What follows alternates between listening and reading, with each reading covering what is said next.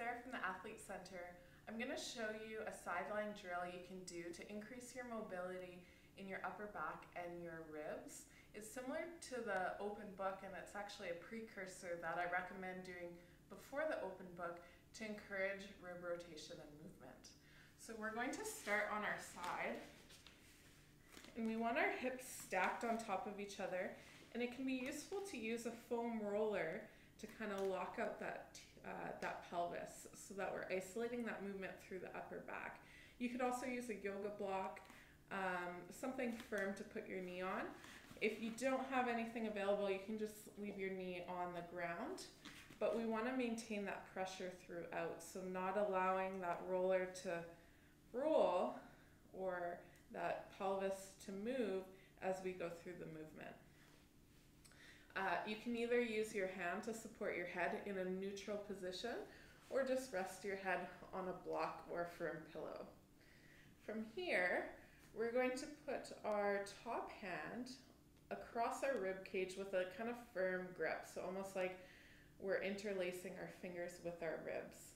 And we're going to use our hand to encourage that rib movement and mobilization as we go through this. So we're going to start with a nice inhale and thinking about expanding through the ribs as we breathe in. So we're trying to increase that space between them. And as we exhale, we're going to open up our chest towards the ceiling and using our hand, we're going to pull our rib cage into that rotation. Okay, so you'll notice that my lower half did not shift. I maintained a block here so that all that rotation is happening through the upper back and rib cage. I'm going to inhale, try to expand again, pushing into the hand with the ribs. Exhale, open up, trying to pull my ribs into that right rotation when I'm lying on my left side.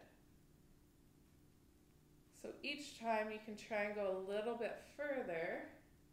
And after you do a couple reps, that's when you can go into your regular open book because now you've encouraged that rib rotation and you're getting that movement through the upper back versus just the shoulder. So with our open book, we want that rotation to happen through the trunk first and arm just comes along for the ride. So give that a go. Obviously, we want to do it on both sides. You might find that you're more limited or restricted rotating to one side. That's pretty normal, especially if you played any kind of rotational sports. Um, but what you can do is spend a little bit more time on the side that's more limited or restricted to see if you can balance that out a little bit. So kind of double the reps or double the amount of time you're spending rotating to that side that you're restricted on and seeing if that open it up.